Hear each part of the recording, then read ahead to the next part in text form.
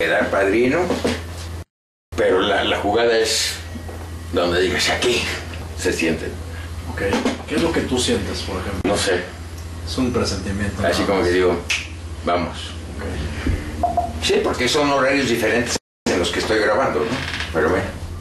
Veamos estas extraordinarias imágenes y cómo fueron obtenidas por Claudio Yarto. ¿Observó el cruce del objeto? En verdad es muy difícil. Reducimos la velocidad de la toma. Ahora podemos ver que se trata de un objeto en forma de cilindro. Congelamos un cuadro y observe. Nos acercamos aún más y le damos seguimiento al objeto que se va desplazando a una extraordinaria velocidad.